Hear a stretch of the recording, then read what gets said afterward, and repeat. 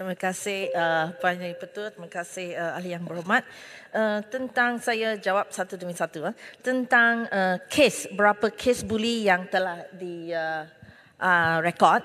Um, Kementerian Pendidikan uh, Malaysia sentiasa memandang serius isu buli yang melibatkan murid sekolah, KPM.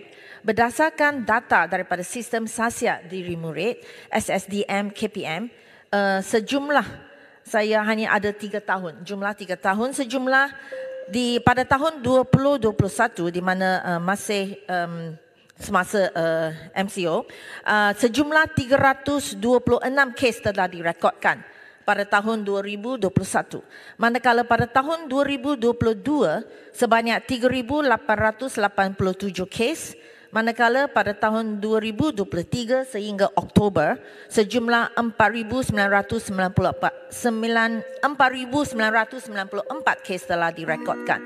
Semua kes ini siasatan telah dijalankan siasatan dan tindakan susulan telah diambil terutamanya dari segi bimbingan bimbingan dan kaunseling.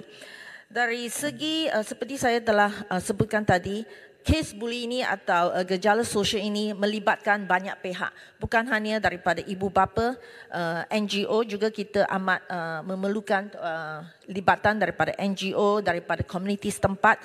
Tujuan kami memang adalah untuk memastikan kes buli dapat dikurangkan dan terutamanya pembuli itu dengan mangsa buli itu akan diberi bimbingan yang uh, sewajarnya